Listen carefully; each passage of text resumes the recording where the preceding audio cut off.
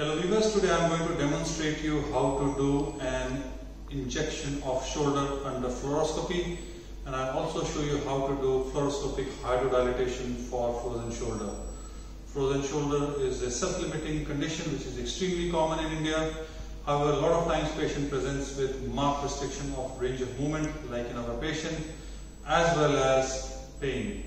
Uh, hydrodilatation is a recent procedure which is pretty good in relieving pain and I'll show you how to how to do this under fluoroscopy today. So in terms of the theatre setup, our C-arm is going to come from the other side. Our screen is right there. Patient position will be supine. Um, the hand and arm and the forearm should be on the side and the arm should be externally rotated. This is to get the bicep tendon out of the way. Uh, and it's much easier to negotiate the needle.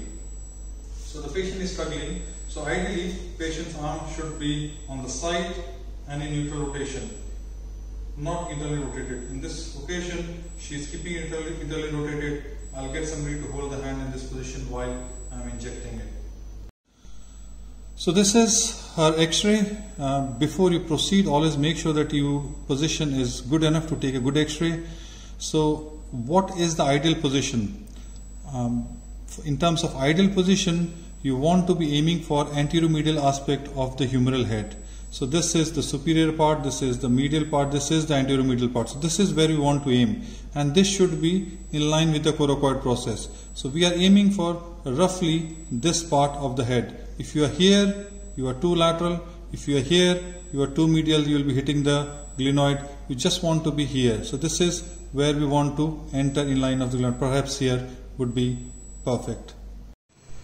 Now hydrodilatation is an extremely useful procedure which is good in relieving pain in around 90% and improving range of motion around up to 70% of the patient. Now the equipment that we will be needing is uh, just this is the artery clip just to localize our perfect entry point. Then we'll need a spinal needle. This is used to uh, do hydrodilatation. This is size 22 as well as giving local through the tract so that the patient doesn't feel pain. This is some local anesthetic this is our Omnipaque dye. This is um, depomedrone. I give 80 milligrams uh, with some 1% uh, uh, lignocaine. These are 20 ml of saline to do the hydrodilatation. This is the connector which is extremely useful when you do that and I'll explain everything again as I go through the procedure. So first step is to localize your ideal entry point. So I've just used a mosquito and taken a C-arm view and this looks the position of where we should enter our needle to do our hydrodilatation. So if you look at the C-arm images, uh, this is our ideal entry point. So this is the anteromedial aspect of the head and it is in line with the coracoid process. So I've marked my entry point. So I'm just going to give some local anesthetic. This is to anesthetize the skin.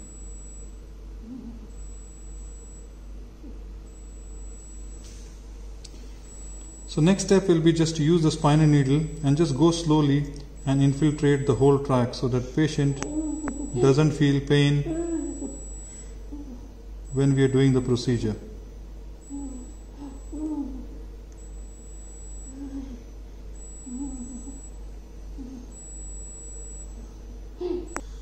So third step will be to choose the same entry point and go vertically till you hit the humeral head.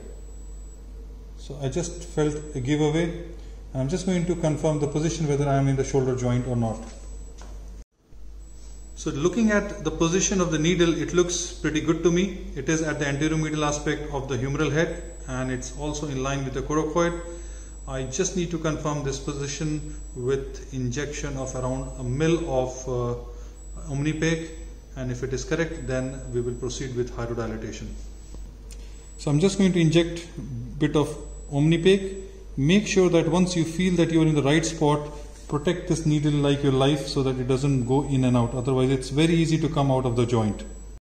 So this is our picture and uh, this is how the arthrogram of the shoulder should look. It is nicely following the contour of the humeral head. This is some dye going on to the inferior recess.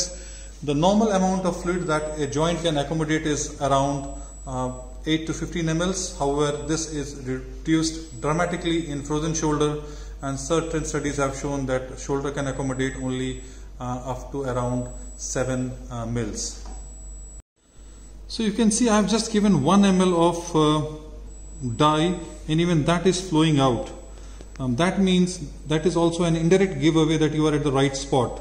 Um, if your fluid is or dye is going in a free space, it's not going to come out. Now see, I've just injected 1 ml, the space is so tight that even this 1 ml is trying to come out.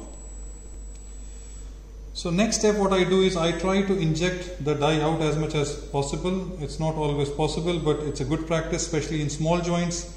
You want to give maximum amount of uh, fluid.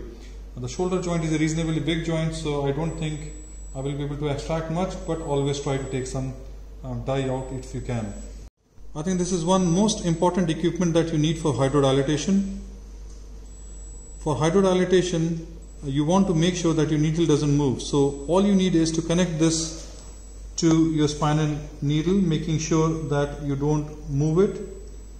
And what it does is now you are free to inject the fluid without um, endangering that this is going to move. If you don't have access to this, then you can ask your assistant to hold it and you inject or you can hold it or your assistant can inject. So this is around 80 mils of uh, depomedrone which is gone with 1% lignocaine and you will see how much force you require and I'm just trying to do it and I'm trying my level hard. This is the time when patient do feel some discomfort because of the pressure. So I'm just trying to insert and I'm finding lots and lots of resistance. This is normal. That means you are in the right place. If you are outside the joint, this will flow freely. And what happens is once the joint capsule has ruptured, um, then you will feel that it's going with ease. So we have injected 10 mils of uh, local anesthetic with steroid. Uh, I have not found that giveaway, uh, which is suggestive of uh, rupture of the uh, capsule. Uh, one controversy is how much fluid shall we give in order to do the hydrodilatation. So I would recommend give at least 30 to 40 mils in order to do the hydrodilatation. If you find, if you and if you find the sensation of giveaway uh, that the capsule has ruptured, that means that is enough fluid that you have put in, and you can stop at that stage. So I'm just going to inject, and I'm still finding a lot of resistance still a lot of resistance and I'm requiring to use a lot of force. So you need really strong pair of hands, especially if it's tight. And at one point, you will find that this will give away. So I'm just, you can see that I'm injecting and it's backing out. It means still the capsule is not ruptured. So that's much better. It's getting there.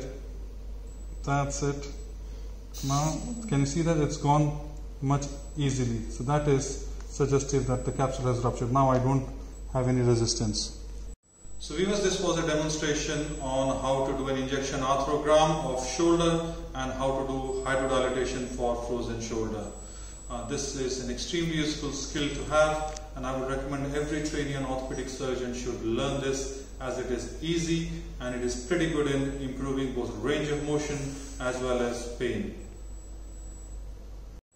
I hope you like this video. Give us a thumbs up, do subscribe to our channel and do share our channel. Thank you.